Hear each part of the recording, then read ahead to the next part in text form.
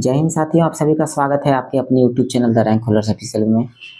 साथियों, आपकी तैयारी बिहार दरोगा और बिहार एसएससी के लिए कैसी चल रही है? आशा करता हूँ आपकी तैयारी बेहतर तरीके से चल रही होगी। और आप भी अगर हमारे साथ तैयारी करना चाहते हैं तो हमारे Telegram group the rank holders official से जुड़ना ना भूलें। कमेंट में और डिस्क्रिप्शन में लिंक दे दिया जाएगा, उससे जुड़ जाइएगा। दोस्तों, इस वीडियो को बनाने का मेन मकसद यह है कि जैसे अभी हाल में बिहार दरोगा बारह सौ पचहत्तर का प्रीलिम्स हुआ था और उस उनके प्रश्नों को देखने के बाद मार्केट में बिल्कुल हो हल्ला सा मच गया कि अब हमें लूसेंट क्या छोड़ देना चाहिए। बिल्कुल एन की ओर मूव कर जाना चाहिए। तो दोस्तों ऐसा कुछ नहीं है।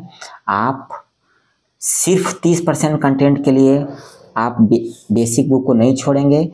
जो आपका मेन बुक है जो लूसेंट बुक है जिसको आप पिछले दो या तीन सालों से पढ़ते आ रहे हैं, उस बुक को बिल्कुल नहीं छोड़ेंगे, नहीं तो आपका तैयारी बिल्कुल शून्य पे हो जाएगा।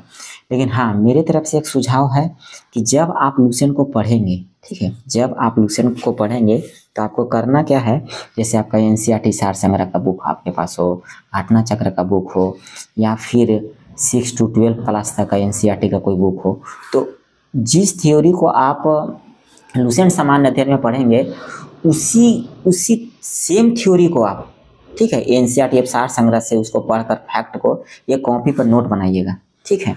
और इस तरह से क्या होगा कि सपोज़ आप लूसेंट को पढ़ रहे हैं और गुरुत्वाकर्षण चैप्टर पढ़ रहे हैं, और गुरुत्व, या फिर दृष्टि क्विक सेंस के गुरुत्वाकर्षण चैप्टर को पढ़ रहे हैं तो वहाँ पे उसको पढ़ने के बाद अगर कहीं से और एक्स्ट्रा फैक्ट मिलता है तो उसको एक कॉपी पे आप क्या करेंगे? नोट डाउन करेंगे, ठीक है?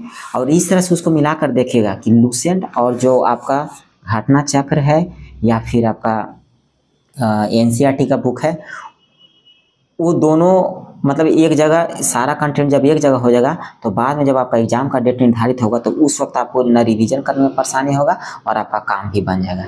लेकिन ऐसा नहीं करना है कि बिल्कुल एन के चक्कर में हम बिहार दरोगा और बिहार सीरियल जैसे एग्ज़ाम के लिए, ठीक ना?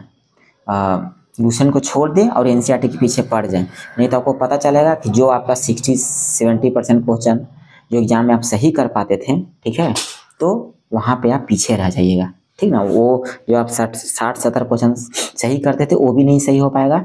आप ऐसा स्थिति आ जाएगा कि आप हार्ड क्वेश्चन को सॉल्व कर दीजिएगा और फिर से इजी क्वेश्चन आपका गलत होना स्टार्ट हो जाएगा। तो हमें जो एग्ज़ाम में इजी प्रश्न देखने को मिलते हैं, जो लगभग पचास से साठ रहते हैं किसी भी एग्ज़ाम में।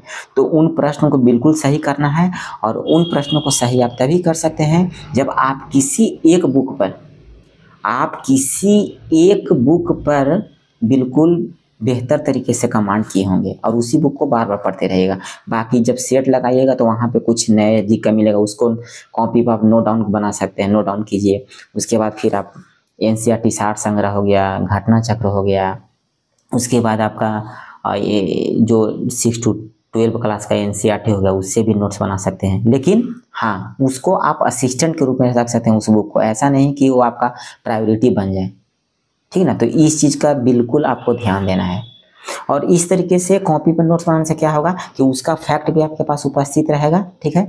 जब एग्ज़ाम का डेट निर्धारित होगा, आज अभी मैं वीडियो बनाते वक्त जो अभी मध्य से चौंसठ वैकेंसी आया हुआ था बिहार दरोगा का, ठीक है? उसका डेट घोषित हो गया अट्ठाईस दिसंबर का अब सोचिए कि आपके पास एक मंथ टाइम है। लूसेंट में टोटल नए लूसेंट में टोटल चार सौ बयालीस पेज है। अगर आप दस पेज का भी प्रतिदिन रिविजन कीजिएगा तो आपको कम से कम पैंतालीस दिन लगेंगे। तो क्या एन पढ़ते हुए एन सार संग्रह पढ़ते हुए, घटना चक्र पढ़ते हुए भी लूसेंट को पढ़ा जा सकता है। इतना तो नहीं किया जा सकता है। लेकिन हाँ जो मैंने तरीका बताया, उस तरीका को फॉलो कीजिएगा। तो आपको क्या होगा कि आपको लूसेंट जो सबसे मेन बुक है, जो आपका बेसिक बुक है, वो तो वो जहाँ से आपको 40 50 60 क्वेश्चन तो आते ही आते हैं। वो तो आपको रहेंगे ही रहेंगे। और जो दूसरे बुक को पढ़ेंगे, उसके कॉपी पर लिखिएगा फैक्ट को तो आपको रिवीजन करने में आसानी होगा। और आपका दिन प्रतिदिन कॉन्फिडेंस भी बढ़ेगा। क्यों बढ़ेगा? क्योंकि आप लिमिटेड बुक को जो आपका बुक लिमिटेड है, जो हर कोई आपके भैया या बड़े गार्जियन सब कोई भी आपको समझाते हैं, या कोई बड़े, कोई अच्छे टीचर समझाते हैं तो उसको बार बार रिपीट कीजिएगा तो आपको क्या होगा? जो हल्का क्वेश्चन आता है एग्ज़ाम में, उसका गलत होने का प्रोबेबिलिटी जो है, वो घट जाता है। क्योंकि एक ही चीज़ को बार बार देखने से क्या होता है? चीज़ें बिल्कुल माइंड में बैठ जाती है। अब सवाल ये है कि हम इसलिए भी बहुत सारा बुक को फॉलो नहीं करेंगे क्योंकि आपको मैथ रीजनिंग भी बनाना है। अगर आप बिहार एसएससी की तैयारी कर रहे हैं, वहाँ पे आपको लगभग पचहत्तर, पचास रीजनिंग और पच्चीस मैथ है।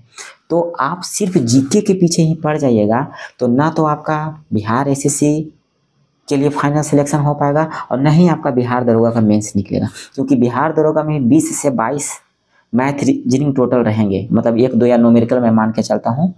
वो भी मैथ का ही पार्ट है। तो लगभग बाईस क्वेश्चन है तो उधर भी तो हमें तैयारी करना है। अब यहाँ पे हम क्या कर रहे हैं? लूसन के साथ आप अन्य बुक को ऐड कर दिए, घटना चक्र या फिर एन सी के बुक को बिल्कुल ऐड कर दिए। तो जब हम हम तो यहाँ पे ये देख रहे हैं कि आप जीके का ही सिर्फ़ डोज बढ़ाते जा रहे हो और मैथ रीजनिंग बिल्कुल गोल हो गया। तो बिना मैथ रीजनिंग तो फाइनल सिलेक्शन होना है नहीं। तो इसीलिए मैं बोल रहा हूँ मैं जैसे बोल रहा हूँ, उस तरीकों को फॉलो कीजिएगा तो शायद आपको फ़ायदा देखने को मिलेगा।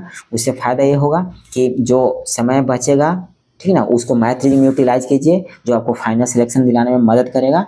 साथ ही आपका जो उस जो एक्स्ट्रा फैक्ट है लूसेंट के अलावा उसके फैक्ट को जहाँ से पढ़िए, उसको कॉपी पे लिखे इकट्ठा कीजिए तो उससे आपका क्या हो जाएगा? काम भी बन जाएगा। और एग्ज़ाम के समय रिवीजन करने में भी मदद मिलेगा। उस वक्त आपको ये टेंशन नहीं रहेगा कि हमको एन का भी रिविजन करना है, घटना चक्र का भी रिविजन करना है, ऐसा माइंड में कुछ नहीं चलेगा। तो ठीक है दोस्तों, आशा करता हूँ यह वीडियो पसंद आया होगा। अगर हमारा यह वीडियो पसंद आए तो हमारे चैनल को सब्सक्राइब करना ना भूलें, साथ में वीडियो को शेयर करना और लाइक करना भी ना भूलें। धन्यवाद।